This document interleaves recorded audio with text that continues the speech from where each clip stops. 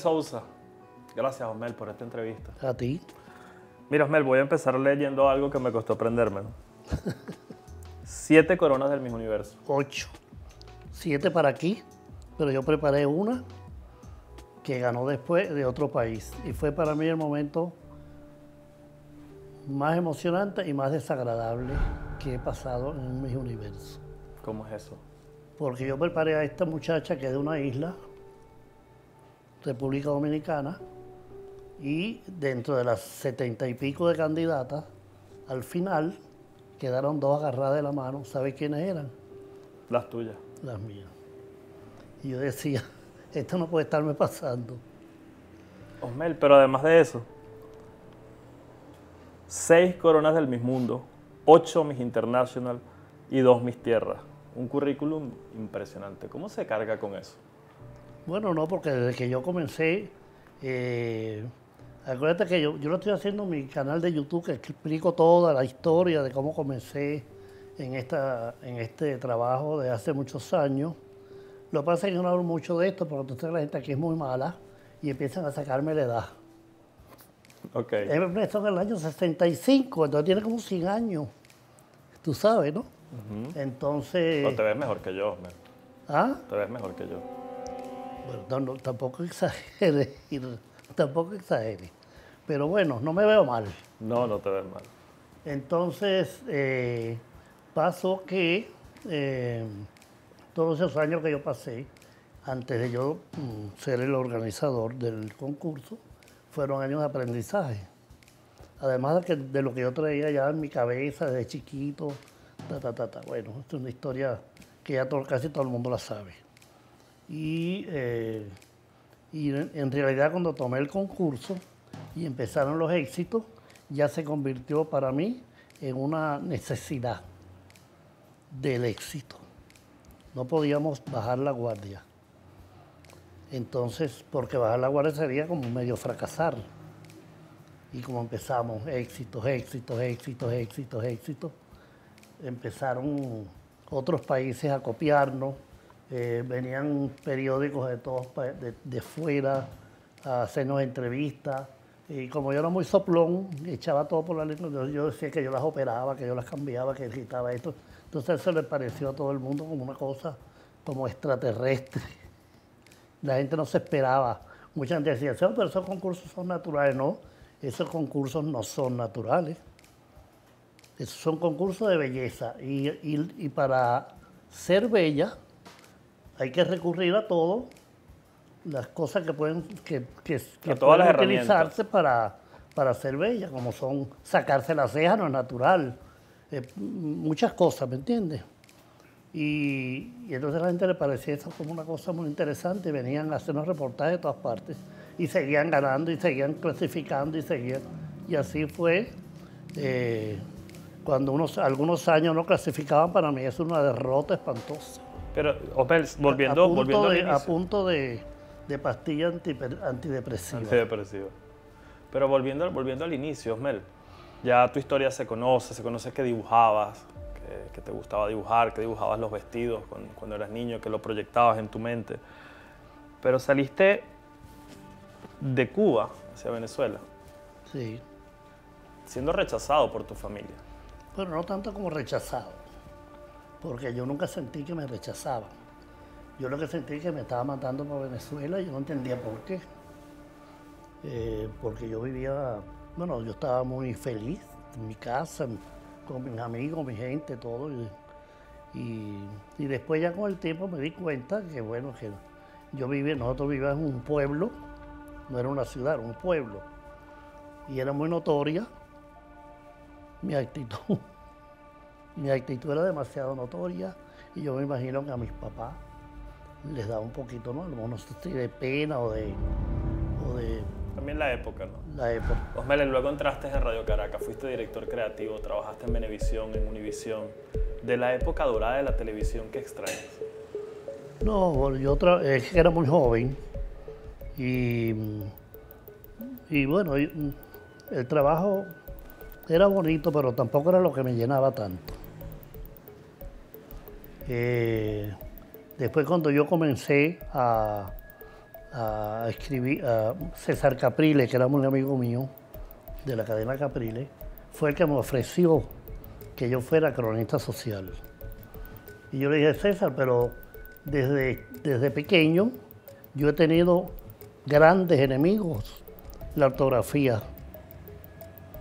Porque yo no entendía por qué había que una palabra ponerla con V pequeña o V grande. ¿Por qué la H no se pronunciaba? La S y la C. Entonces yo me vuelvo unas galletas tremendas escribiendo. Siempre ha sido así. Fíjate que yo, por la cosa del Instagram y del, de todos los mensajes, me vuelvo un número 8 porque entonces empiezo a escribir y digo, ay, ¿esto cómo se pondrá? Y tengo que buscar una palabra alternativa, que no sea complicada de escribir. Entonces todo, todo ha sido así desde pequeño. Sin embargo, te convertiste en un cronista. Bueno, esto yo, yo empecé a hacer las crónicas sociales de la cadena Capilla, después pasé al, Universal y después pasé al Nacional. Y eh, yo ponía muchas fotografías. Porque yo decía que la gente en las fiestas lo que, le, lo que le gusta es verse. Con quién estás, al lado de quién estás o cómo estás. Y no escrito. Entonces las escrituras eran muy escuetas. Y a mí me ponían siempre alguien que me lo hiciera. Porque yo, por supuesto, no sabía hacerlo. Y además me invitaban a las fiestas, en la época de oro de Venezuela, que habían esas fiestas fabulosas que venían los extranjeros y se quedaban con la boca abierta de cómo eran las fiestas aquí. Eh, me invitaban a mí más que a todos los demás, primero porque yo no era feo, me vestía bien, lucía fino, porque aprendí a hacer, yo aprendí a eso. Que si yo nunca, desde que yo vivía en Cuba, yo siempre me reunía con gente que tenía mucho más estatus que yo y ahí aprendía cosas, actitudes, gestos. Entonces me veían como un... No, me sentían como fuera de, tono. Entonces estuve invitado a todos los, los oh, las cosas importantes que había aquí. Además me gustaba organizar fiestas. ¿Las organizabas también? También. ¿Y luego cómo entras en la televisión? Entonces entré a una agencia de publicidad porque los dibujos míos eran muy buenos, yo sabía dibujar muy bien. Perdí, esa mano la perdí. Eh, y hacía retratos perfectos, perfectos. Eh, yo pintaba los pelos que parecían pelos de verdad, fotografía. Y, esta agencia de publicidad, su gran eh, patrocinante principal era una, una, empresa de productos para el cabello que ya creo que no existen, que se llama Helen Curtis. Y entré a esta agencia que era la que organizaba mi Venezuela. Cuando yo entré a esta agencia que organizaba mi Venezuela, ahí se me revolvió todo, la infancia, lo que yo hacía cuando chiquito, lo que me gustaba, todo esto. Y poco a poco fui entrar, posicionándome de lo que era el, el movimiento del concurso. No solamente el movimiento, las estrategias, las trampas, los escándalos. Me encantaban. Las trampas. Las trampas. A observar las trampas. Por eso que cuando yo agarré el concurso, cuando me venían con un cuento, ya yo sabía quién lo traía y por qué lo hacían. Porque yo lo hice. Yo lo hice mucho para que mis candidatas ganaran. Ah, sí, esto, esto es revelador. Hay una persona que, en la industria de la televisión marcó un precedente, un antes y después, un gran creativo, digamos, una persona que, hizo que la televisión evolucionara, que es Joaquín Riviera. ¿Quién es Joaquín Riviera para ti? Bueno, déjame contarte, Joaquín, desde el comienzo, desde que estábamos en OPA, la agencia, yo siempre le insistía, porque OPA era una agencia de publicidad y ellos ofrecían el paquete del Miss Venezuela o a Radio Caracas o a Venevisión, el que mejor pagara. Y yo siempre le insistía a Ignacio Chico, hazlo con Venevisión, que Venevisión, las escenografías son más bonitas, las producciones te, te ayudan muchísimo. Y así yo empecé a conocer a Joaquín. Y desde el comienzo nos caímos muy bien. Porque él, yo sentía que a él le gustaba lo que yo hacía. Y él sentía que a mí me gustaba lo que, él, hacía. Cuando ya yo, ah, tomé las riendas del concurso, que empezaron aquellos shows maravillosos que nunca más han habido y, y creo que los habrán, porque eran yo sentía gente que me decía, pero esto se hace allá. Se quedaban con la boca abierta. Y a mí me encantaba porque del comienzo él me llamaba. Él siempre decía vieja. Oye, vieja, ven acá. Esto, este, eh, tú sabes que Joaquín inventaba los shows cuando se iba de viaje, en los aviones. Era su momento creativo. Era su momento creativo. Entonces me decía, ya tengo el opening. Osmel, ¿y si Joaquín estuviese vivo? ¿Qué le preguntarías? Bueno, tú sabes que yo le preguntaba a Joaquín cosas todos los días, porque teníamos una gran amistad y una gran confianza. Yo le decía vieja y él me decía vieja. Pero así lo que se me ocurre ahorita, con cosas que he oído por ahí, yo le hubiera dicho, oye vieja, ¿es verdad que tú le dijiste prostituta a Susan Carrizo? Pero se lo dijo. Yo no lo vi, pero la gente dice que sí. Vamos a buscar a ver si, encontramos que lo dijo. Osmel, 40 años ininterrumpidos en la organización Mis Venezuela. Sí. Decides renunciar a través de un comunicado y que luego esto estalla como una bomba mediática en redes sociales, en prensa, en guerreros del teclado, en jueces, que digamos cada uno dio su versión. Todavía pareciera que falta historia allí que todavía pareciera que, que falta saber exactamente qué pasó. ¿Crees tú que tal vez fue la manera de renunciar y crees tú que fue la manera de despedir a un hombre que dio tanto para Venezuela en la belleza? Bueno, mira, ya yo venía harto, porque ya yo sentía que poco a poco yo no sabía si era que querían que yo me fuera o que, que alguien quería pues ocupar mi posición.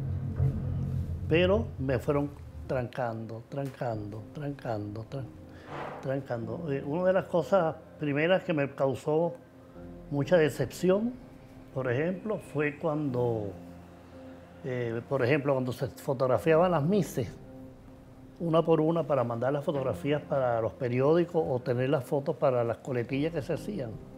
Eso lo decidía yo que se ponían, como en la foto. Durante toda la vida. Junto con el fotógrafo. Mira, ¿qué te parece hacer esto así? Ah, sí, no, esto no me gusta así. Siempre llegamos a un acuerdo y ya está, se hacían las fotos y ya está. Ese, este año, que fue hace como 3, 4 años, entró un fotógrafo nuevo. Se reunió conmigo y me dijo, yo quiero hacer, ¿qué te parece si hacemos algo barroco? así me gusta esta idea. Y, la, y entonces un chaislón también barro Y las mises vestidas también eh, un poquito el estilo. Y tú atrás, yo, con la corona como ofreciéndosela. Y me pareció interesante. Ah, sí. ¿Y cómo tengo que estar vestido? Bueno, con una chaqueta de esas como las que tú te pones un poquito exagerada. Busco mi chaqueta Viene el fotógrafo, digo, ya tengo lista la chaqueta, ¿cuándo hacemos la foto? ¿Cómo vamos a hacer con la ropa? No, ya esa idea no va. Digo, ¿cómo que no va? Dijo, sí, no, eso yo lo rechazaron. ¿Quién rechazó esto? No, arriba. Yo no pregunté porque no sabía ya quién era. No, que no quieren que aparezcas tú, sino solo las mises. Ya yo estaba harto. Entonces después se ponen a llamar por teléfono a las páginas y a la gente por ejemplo, el fotógrafo ese que se llama Iván Dumont, que anda por ahí, me decía, ay, por aquí están averiguando de dónde sacaste todo el dinero, que quién pagó ese viaje tuyo. Digo, pero, pero bueno, ¿qué es esto? Si yo voy a trabajar, a hacer que lo hacer, y están averiguando quién me pagó el pasaje. Pues ya venían con la idea de que, de que algo, de que, como inventar algo, que había, que las muchachas eran ligeras. Yo porque no las llamé a todas, y dije, mira, te están diciendo ligera, mira, te están diciendo ligera. A ese punto vamos a entrar ahorita, pero vuelvo, al, vuelvo a ese momento, Mel. Cuando publicas tu renuncia, pasan las primeras 24 horas. Yo creo que tú nunca esperaste lo que sucedió después de, esa, de esa renuncia. Fuiste apedreado digitalmente. Como te digo, salieron los guerreros del teclado, salieron los misólogos, la prensa, las cuentas anónimas, que estas que, que nadie sabe quiénes son, pero opinan también. ¿Quién estaba contigo o quién no te traicionó en todo ese proceso? Mira, yo estuve trabajando conmigo algunas personas muy leales y muy buenas. Pero también estuve rodeado de mucha mierda. Eh, pero eso es normal. Yo sabía que era mierda, pero como los utilizaba para cosas, ahí estaban. Todavía, todavía salen por ahí algunos. Todavía. Todavía sí. Por eso me es más fácil preguntarte quién no te traicionó. No, mucha gente no me traicionó. Pero también mucha gente que trabajó conmigo no salieron en mi defensa, se quedaron callados en la boca.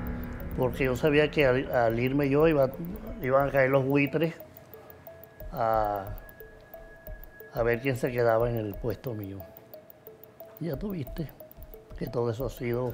Ya, ya hace dos años que, que saliste de la organización y el Miss Venezuela ha sido una de las conquistas sociales más grandes para nosotros. Es como el fútbol para otros países, ¿no?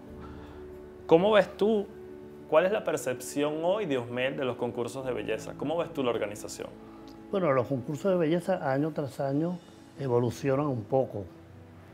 Y yo pues eh, estoy de acuerdo en que hay que ir con el cómo va la vida, cómo va el, el movimiento en general ya no, no es 90, 60, 90. Ahora son muchachas empoderadas que tienen que tener un, una, labor, una profesión, etcétera, eh, y lo malo que sucede aquí en muchos países latinoamericanos es que estas muchachas llegan con... nunca llegan solas.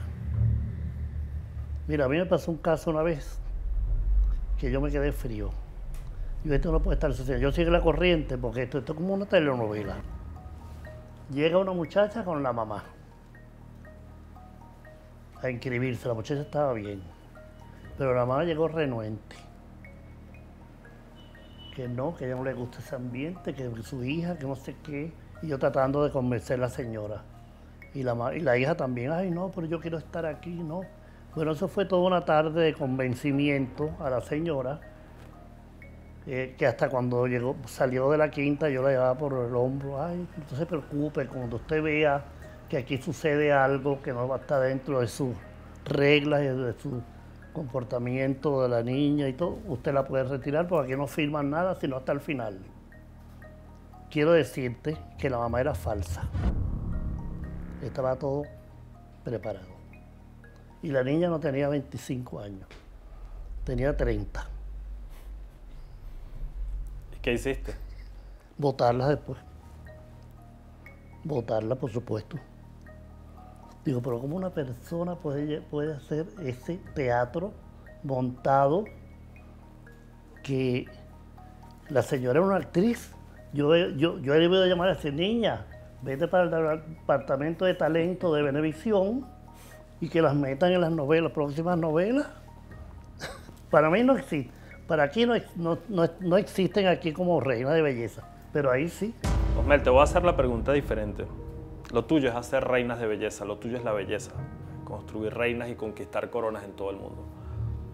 Si, te, si tú tuvieses que darle un consejo a la nueva organización del Miss Venezuela, ¿qué consejo le darías? Yo les diría, eh, estas muchachas que están viniendo ahora a inscribirse, porque ahora, ahora les exige que vayan solas, eh, llegan solas, pero en la esquina está esperando el buitre.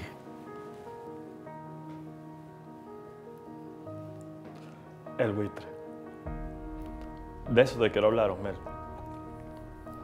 Tú eres un proxeneta. Yo nunca he sido proxeneta. No fui proxeneta.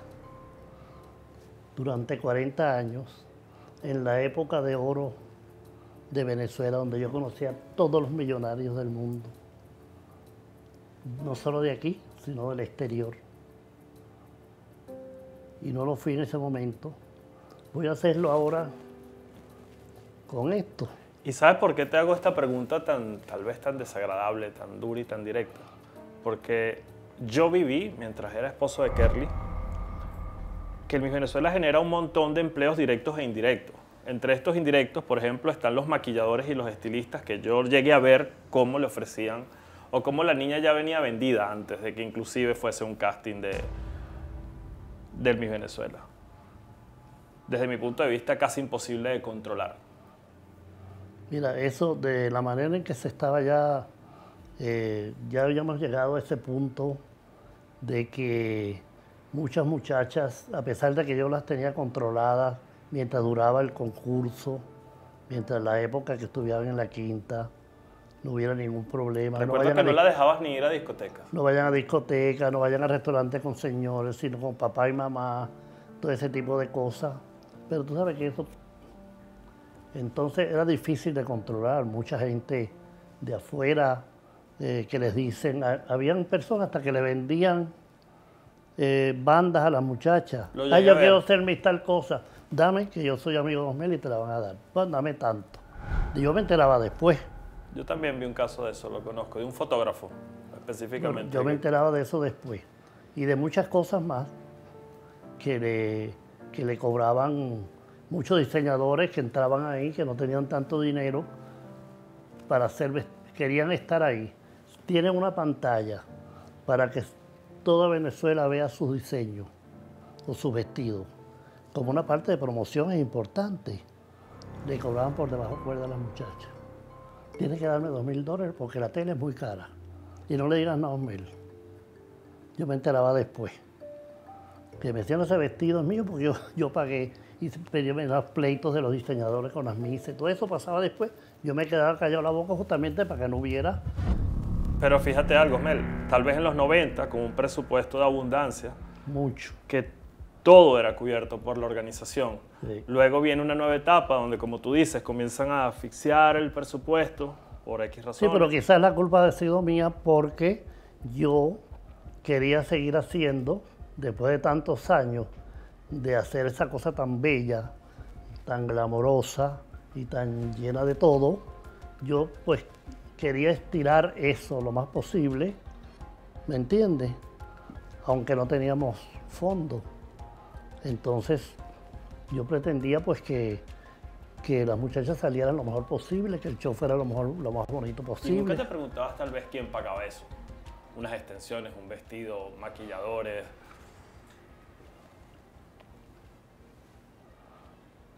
Ellos decían que se lo daban gratis. Y como a mí lo que me interesaba es que estuvieran bellas. Lo que sí te puedo decir es una cosa, que te lo voy a resumir en una frase. Yo prefiero estar muerto antes de ser prosereta. Yo siempre he tenido el grave defecto de no saberme defender. Por eso te digo que si Joaquín Riviera estuviera vivo, eso no hubiera pasado. Así es. Porque Joaquín sí, sacaba, sí, sí sabía sacar las uñas, yo no. Luego, luego, luego, entrando en el tema de las mises, de todas las que pasaron por ti, ¿cuál es tu preferida? Yo no te, no te puedo responder porque yo las prefiero a todas. Entonces prefiero que lo hagas tú. Bueno, no, yo, para mí todas significaron mucho en especial, mucho. Todos los años decía que esta era mi hija, la otra era mi hija. Pero viéndolo ahora bien, yo me incliné, mucho hacia mises como Irene Sáez, que después de haber sido Miss Reina de Belleza, mi Venezuela, mi universo, llegó a ser casi presidente de la República, porque yo lo que quería que esas muchachas después estuvieran empoderadas, que fueran algo importante, que hicieran, que no se quedaran en su casa metidas, sino que, que trabajaran en algo importante. Y Bárbara, que también después ha, hecho una labor maravillosa haciendo, dando unas conferencias de autoestima y de una cantidad de cosas interesantísimas, pero no se quedó en su casa criando a los niños. Entonces yo siempre les pido, les pedí a todas que quisieran, que no se quedaran ahí, quisieran algo más. Esto, esto digamos, por un tema de, de lo que tú concebías como belleza. Para mí, eh, de hecho, tu equipo dice de que tu belleza, la belleza que tú seleccionas, es la belleza Osmel, que pareciera que, que es un concepto único y propio. La- Pero la- no era mía, mía en especial, porque, porque cuando yo, eh, yo, por ejemplo, tenía, era muy amigo del que, de la que hacía mi Puerto Rico, y ella me decía, es Mel, es que cuando yo veo las candidatas, y cuando sale esa mujer, se ve que sale Venezuela. ¿Cuál, ¿Por qué crees tú que pasaba eso? ¿Qué tienen las venezolanas? ¿Qué es lo que tienen? Yo siempre, yo siempre, yo nunca he podido describir bien lo, lo que es el término belleza, ¿no? Para mí, porque una cosa como yo he sido neófito para todas las cosas, eh, eh, digamos, profundas, etcétera, de saber eh, expresarlo bien. Yo siempre decía que la belleza comenzaba en la planta del pie. Porque cuando entra una mujer pisando fuerte, lo de arriba va, va, eh, combinado a eso. Entonces tú te quedas así. Que es lo que la gente dice, ay, esta muchacha tiene algo que no, algo que no sé qué es. Tiene una cosa que no se sabe qué es eso.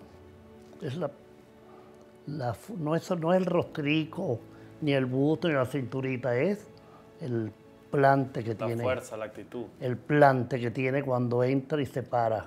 Yo siempre pongo de, de- de ejemplo una, una vez que yo hice un... Dime un ejemplo con una Miss que tú sepas que tiene ese plante. Bueno, eso que te voy a contar, yo una vez hice un- un una Benevisión quiso hacer una selección de las candidatas, de las candidatas que iban a competir en un programa de televisión donde yo estaba en el, en el borde del escenario mirando para el público y se paraban 30 mujeres aquí. Y entonces giraba la silla y yo miraba y miraba y decía aquella, la número tal, la número tal, la número tal. Y me impactó una que estaba plantada y después yo le pregunté a una, a una de las personas que trabajan conmigo. Yo le digo, oye, ¿quién es esa muchacha? Que nunca me olvidaré hasta el color del vestido. Una muchacha que estaba allí, vestida de verde, que yo escogí. Dice, ah, esa es una muchacha que te trae un diseñador. Fulana, no sé qué. Esa terminó siendo mi Venezuela. ¿Cómo se llama? Mariana Jiménez. Mariana Jiménez. Sí. Y en mis universos gustaba. Sabes que el, que el dueño de mis universos era el señor Donald Trump, que conmigo era muy especial. Muy especial.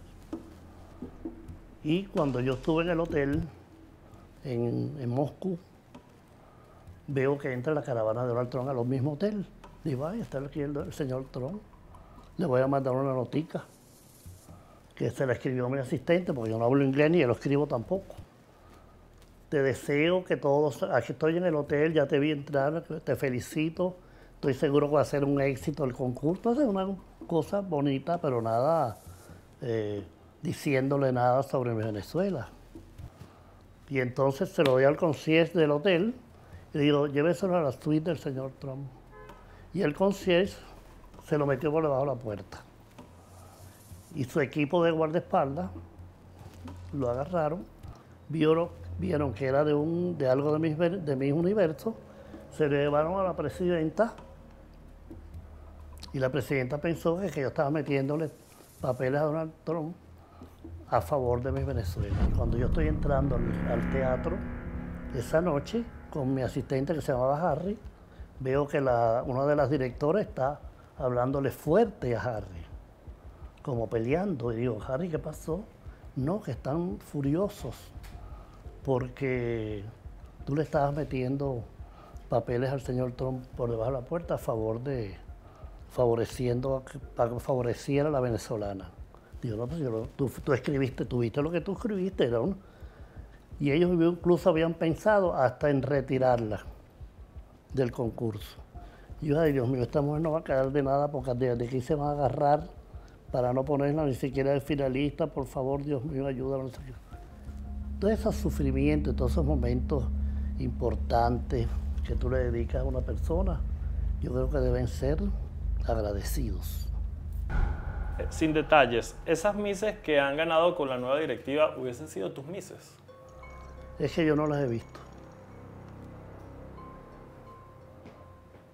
Tú sabes que todas pueden ser.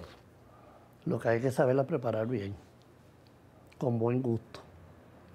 Así es, tu talento no llega hasta ahí. Luego te invitan como jurado para nuestra belleza latina y te conviertes en un fenómeno para el habla hispana en, Estados Unidos. De, mirar cómo la gente se tiraba en el piso para tocarte con, lo que estabas haciendo. ¿Esto cambió tu percepción de la belleza? Porque era otro tipo de concurso. No, no, no, eso yo, yo lo hice 10 años. Eh, era un personaje. Pero un personaje que solo podía ser yo, porque tenía que catalogar cosas sobre belleza y las muchachas, pero de una manera diferente, de una manera violenta, eh, de una manera abrupta y cómica. Con humor. Yo lo sabía hacer muy bien. Así es. De hecho, me quedó muy bien. ¿Quiénes fueron tus animadoras preferidas? Animadoras. animadoras no me acuerdo. Porque yo veo son las mujeres.